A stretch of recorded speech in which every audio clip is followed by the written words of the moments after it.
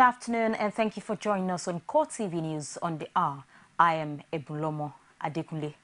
Stakeholders in the advertising profession have come together in Abuja for an international seminar on political advertising, perception building and voter education to ensure that the right messages get to the electorate through advertorials and campaign jingles.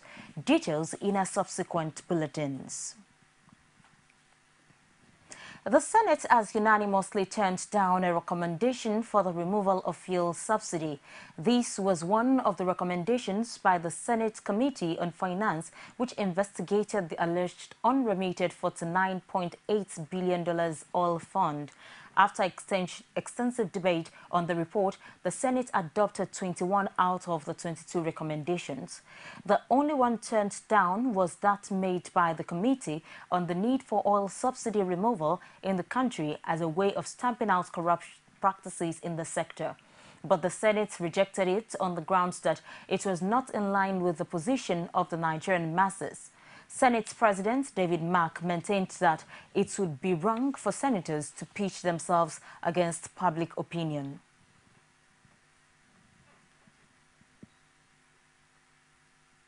Protesting pensioners have blocked the main gates into the National Assembly complex in Abuja. They are seeking a 53% upward review of their pension in line with an agreement they claim they have with the authorities. The senior citizens had planned to march into the complex to seek lawmakers' intervention, but security personnel denied them access and they decided to block the gates of the legislative complex for several hours. They came from far and wide, armed with placards conveying their plight. They sought to voice their frustrations to federal lawmakers, but security personnel stopped them at the gate. Not to be deterred, the senior citizens blocked the main entrance to the legislative complex. Olonrutola Tale is one of the protesting senior citizens. So we are here for our 53.4%. If we are, they have promised us since that they will implement it, but we've not seen anything. So when some of our members, when they called me yesterday, so I just have to leave whatever I'm doing and come. The pensioners insisted they were at the complex on invitation to draw attention to several unfulfilled promises. Because we have series of problems, uh, accumulated pensions that had not been paid, non-implementation of pension increases, and uh, harmonization and what have you. So we have written in details all that we, we, we uh, the government owes us. So the issue now is that we are going to listen the pensioners' grievances include non-payment of 5% counterpart funds to local government pension boards across the country. They insist this will ensure prompt payment of retirement benefits approved for local government pensioners and retired primary school teachers. The State Security Service has paraded members of a gang that kidnapped President Goodluck Jonathan's uncle. The agency says a 400-level undergraduate, Eldred Jenner, is the leader of the gang that also included a native doctor. But the alleged gang leader claimed he only carried out surveillance and provided funds for the operation. The report. Go forward, go forward to them. Eh, stand there. These are the men arrested over the abduction of the president's uncle in February last year. The man was released after 17 days in captivity after a number of arrests were made.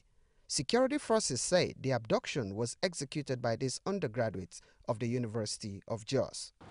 Eldred Magnus Jonah. Jonah masterminded the kidnap of Chief Inengite and provided the takeoff grounds of 40,000 naira for arms procurement and other logistics. He confessed to the following that he carried out surveillance on the victim, that his, his, the gang had two teams for the operation.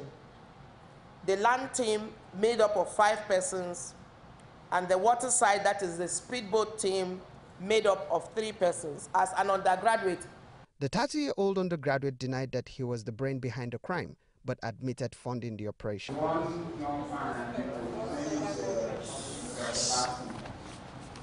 Mr. Sebastian and uh, one uh, had no intention actually, but uh, Sebastian came to me because I knew him for long. He's from my paternal home. So he came to me and uh, said, I want to discuss something with you. So I said, what is it? So he said, uh, they will attach me to one chief, a native doctor also explained his involvement in the abduction of President Jonathan's uncle. What can you do? What service did they ask for? What did they say you should do for them? Okay, when they came, so that evening, because it was night, when they came to my place, I, I did not know them, only this uh, whatever I knew, because he was my patient. A major player in the abduction is one Sebastian, whose name was mentioned by the suspects. When asked about his whereabouts, the SSS spokesperson simply said investigations are still on. She, however, said the men will soon be taken to court. As a result of poor performance by the All Progressives Congress in the just concluded Ekiti governorship election and allegations of rigging labeled on the People's Democratic Party, the leadership of the All Progressives Congress are engaged in a soul-searching exercise to stem the tide of the PDP winning spree and ensure victory in the August 9 election in Osun State. Rashid Rashid was there and filed in this report. The meeting, which is said to be another step by the All Progressives Congress leadership in appraising the state of affairs in the party and to position it well for the future challenges in the country. Though most of the participants declined to disclose the details of the meeting, the Deputy Vice Chairman South and former Governor Segun says the August 9 election will be a different ball game. We are going to do everything to ensure that we get an election that will be credible, that will be fair and fair, and nobody should take us for granted this time around. We have seen what happened in Ekiti. We are going to prevent that. That's already an impact. Going further, Oni says it is clear that the Ekiti election was rigged, but the All Progressive Congress is ready to challenge the election in court, stressing that Fayemi has decided also to go to court. He has always been in tandem with the party leadership there has never been any shade of disagreement. The governor said, if this is indeed the will of the people, he did not say that whether it is the will of the people or not. And we have discovered that that is not the will of the people. Therefore, you should expect that naturally and normally we will go to court to defend the Constitution of the Federal Republic of Nigeria and to ensure that it will be absolutely done in the best of uh, professional ethics. Senator Chris Ngige and Segun Oni say the August 9 governorship election in Osun will be a shift from the Ekiti experience. Osun is a different ball game, and I know you know it. Osun is our territory. It's an AP, AP, APC uh, stronghold, and um, the people are APC through and through let us be very, very factual. Let us be very, very clear. What we have seen in Ekiti is, uh, is a new dimension to voting, is a new dimension to election rigging, and I can tell you we have seen it, we have studied it, and we can say for sure that nobody will fool Nigerian voters again. As the APC continue its soul searching occasioned by its defeat in Ekiti, the days leading to the Osun State governorship election appear set to bring more drama. Rashid Rashid, Core TV News, Oshogbo. Meanwhile, the national leadership of the People's Democratic Party says it is aware of the reason the opposition political party, the All Progressives Congress, is angry. The anger of the APC, according to the PDP, was as a result of the defeat suffered during the recently concluded Ekiti governorship election. The party says it is also planning to defeat the APC during the August 9 governorship election in Osun State. In a statement issued by its National Publicity Secretary, Olisa Metu in Abuja. Metu was reacting to a statement issued by the APC in which it accused President Goodluck Jonathan of impunity and failure. The opposition party accused the president of having hands in the crisis rocking states like Adamawa, Edo and others where the governors there are currently having running battles with the members of the state houses of assembly. Metu added that no doubt the APC is afraid and bitter that its prematurely celebrated electoral fortunes and vaunted popularity to win the 2015 elections are gradually being smashed to its face as mere illusion. Following the death of uh, prominent lawyer Bamidele Aturu, Colleagues, friends and human rights activists continue to pay their condolences. They described late Aturu as a man committed to representing the oppressed and marginalized in the society. Olajumoke Olatunji was at his residence and brought back this report. The Nigerian Bar Association and some human rights groups mourned the death of one of Nigeria's prominent lawyers and human rights activists, Bamidele Aturu. Aturu studied law at the University of Ife and devoted much of his legal practice to representing the marginalized and oppressed. The late activist was nominated as a member of the ongoing National Confab but declined the offer, arguing that the conference was designed to achieve nothing.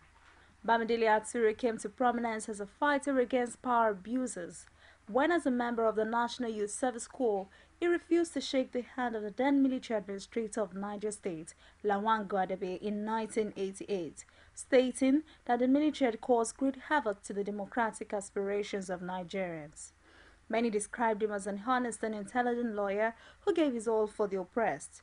Others say he would be greatly missed for his fighting spirit. Unfortunate, it has left many of us with heavy hearts. He was a liberator, a freedom fighter, he understood his debt to the society as a legal practitioner. And uh, he did his best.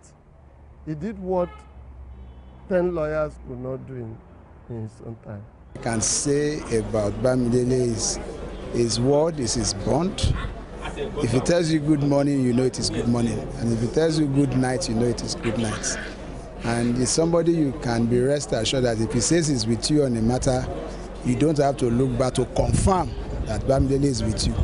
If he disagrees with you and he says, please don't count me into this matter to an issue, please do not count me because he will not be there. But if he tells you he will be there on an issue, he will always be there. And very, very hard to swallow. Uh, he's a humanist, a wonderful human being, very, very humble, God-fearing, and I remember he's a comrade. Very good man. That's all I can say. It's everything about him is good. He was selfless, he was uh, frank, he was honest, and he was a good lawyer. Very, very honest advocate for the oppressed, the downtrodden. He meant so many things to so many people. Uh, but I think the totality, the summation of it is that uh, we are dealing or that we have lost a man of great character, great conscience, depth, a man of conviction. The late Aturu died on the 9th of July at the Lagos University Teaching Hospital after a brief illness. And that's all for this hour. Do join us again top of the hour for more. Thank you for watching. I am Ebulomo Adekunle.